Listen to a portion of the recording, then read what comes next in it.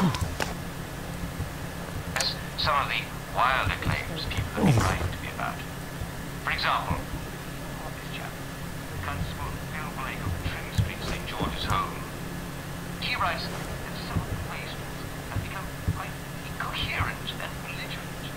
And, well, he chalks it up to play.